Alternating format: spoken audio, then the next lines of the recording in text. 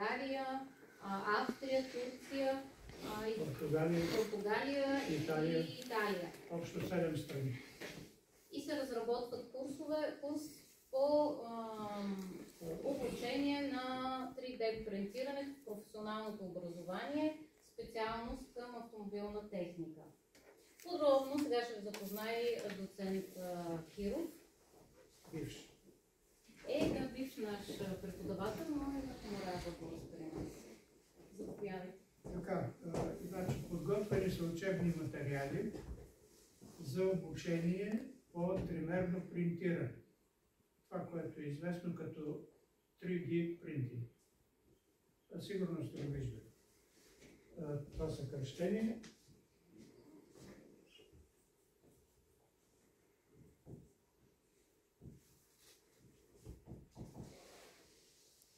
Сигурно сте виждали е това нещо.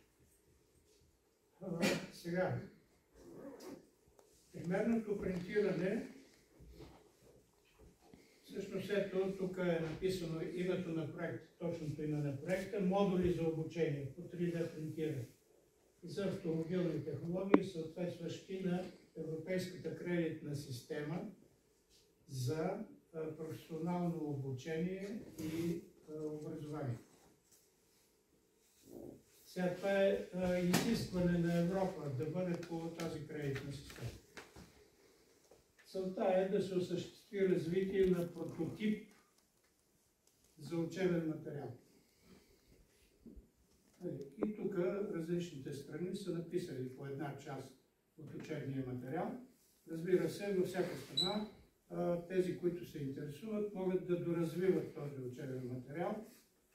Има достатъчно материали в интернет. А, сега, основните задачи са да се обучават а, учениците от средното образование. В България това са ученици от професионалните гимназии, които са за автомобилно образование.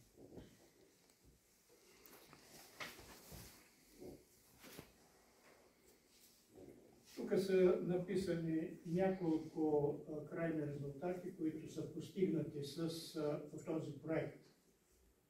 Учебна програма по модули. Ние ще минем след малко да ви кажа по няколко думи за всеки един от модулите. Има анимирани видеоматериали. Те са в а, един друг адрес, когато започнете обучението в началото на всяка тема започва един видеоматериал, анимиран материал, където на, само че на английски се говори какво е застъпено в материал. Или семинари за обучение по интернет. Значи, цялата история е в интернет. Имате адреси, по тези адреси отивате в ето го адреса, значи това е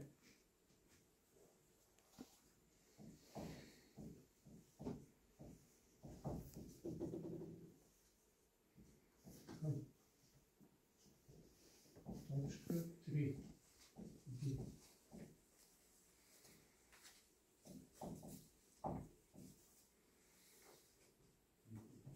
От този адрес ще отидете в учебните материали. След това темите, този слайд ще прескачаме, въведение в техно- в технологията за 3D печат в автомобилното образование. Значи, първата точка е фактически малко история. Кога е започнало развитието, разработването на тази технология за тримерен печат. Сега, двумерен печат, знаете, всеки си е печатал някакви материали на принтер. Тримерният печат е да се създаде от едно устройство, тримерен принтер, изделието. Тоест, кутията на този фалмастер или е капачка копачката само, като и направите тримерен модел с някаква кат система, след това тримерният принтер може да направи е това нещо. А, освен такива елементарни деталчета като капачки, може да се правят и по-сложни детайли от различни материали, най-вече полимерни, а, има и примерни принтери, които правят детайли от метал. Ще стане дума малко по-подробно по-нататък. Така. А, значи това са различните точки в първата тема, която се отнася за историята на развитието на а, тримерния печат малко история, след това 3D печат в автомобилната практика. Тоест в момента какво става в автомобилната практика, в големите фирми, които произвеждат автомобили. Много от детайлите се правят по този начин, примерен печат.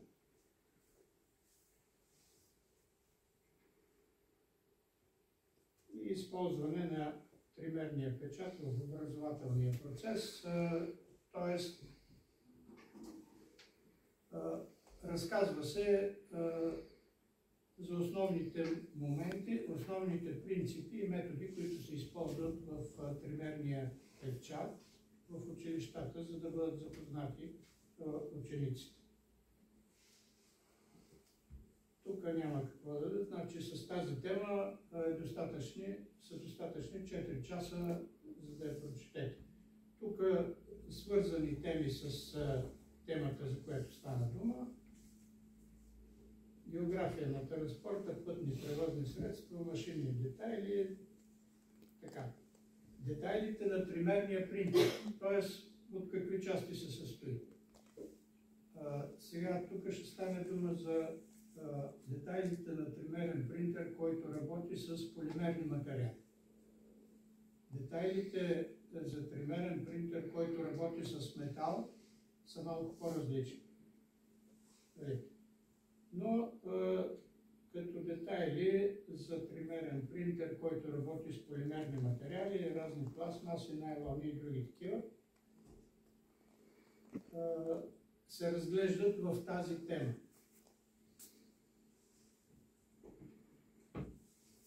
Т.е. разглеждат се компонентите, функциите, взаимодействие на работен поток, механизми, тяхното движение, крайни изключватели. Така.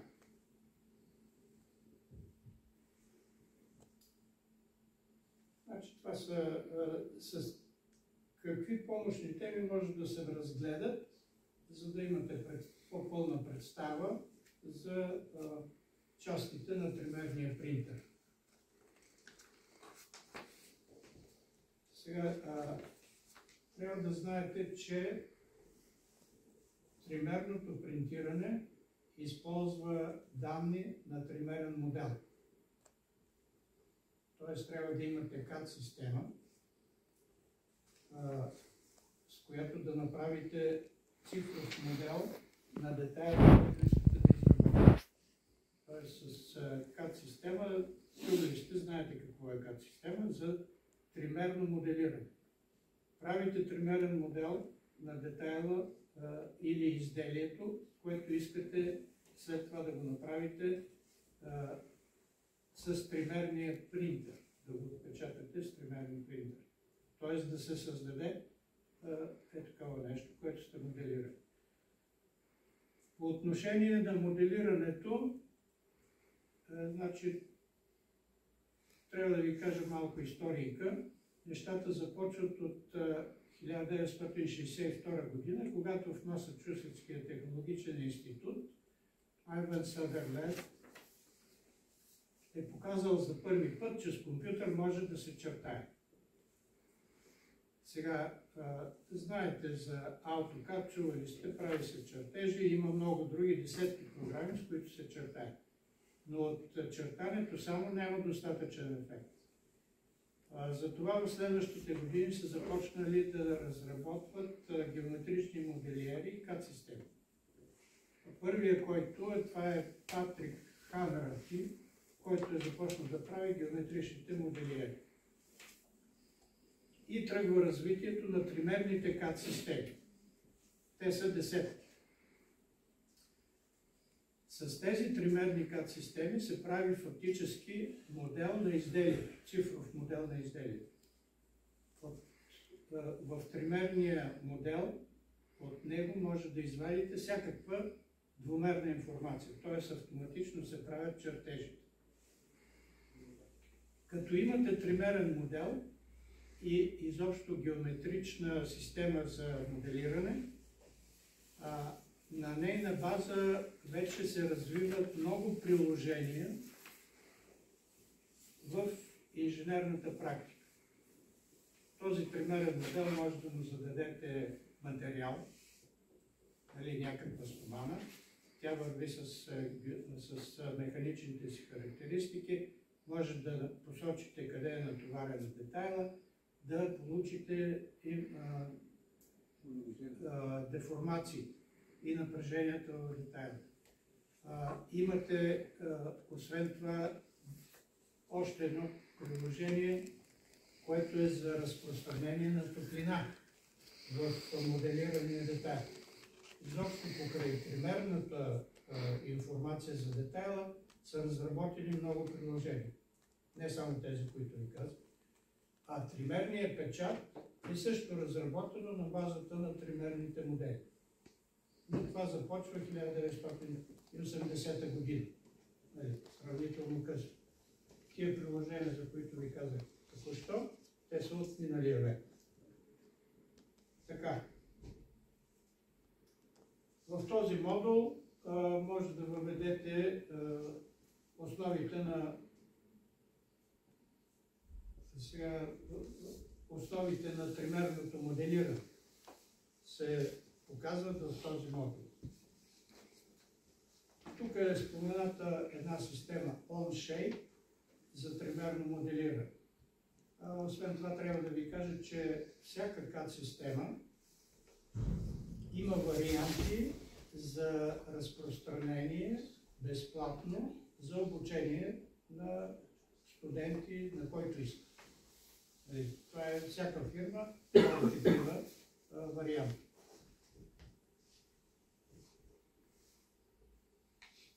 След това, от тази е, тримерна система, като имате модела, изваждате ето този е, STL файл. Това е стереолитографски файл, формат, стереолитографски формат на тримерния модел. По-нататък ще видите какво е стереолитографски файл. Подробно, малко повече ще говорим за него. След това този стереолитографски файл се подава на а, допълнителен софтуер, който тук е показан фирмата Ultimaker Cura. Се нарича а, софтуера, който обработва този стереолитографски файл, за да се направи пътя на разполагане на материала или пътя къде е лазера, ако трябва да се прави детайл от метал, къде е лазера да се включи и да разтопи метала. Така. Тук е в помощ на обучаемите какви допълнителни материали може да прочетете, да потърсите в, също в интернет, за да се запознаете по-подробно с темата, за която става дума. 4 часа са ви достатъчни. И тук свързани теми. Сега, техники за нарязване. Това е четвъртата тема от всички. Тоест четвъртия мод, за който става дума. Тук съвсем накратко. В самото начало това тримерно принтиране са го наричали а, бързо прототипиране, т.е. бързо създаване на прототип, защото а, се, а, детайлите при тримерния принтер се изработват сравнително бавно. И са имали за цел просто да направят прототип от някакъв материал, да го видят как изглежда, ако могат да направят върху него някакви анализи. Нали, прототипа се прави, за да се види как изглежда, какво може да прави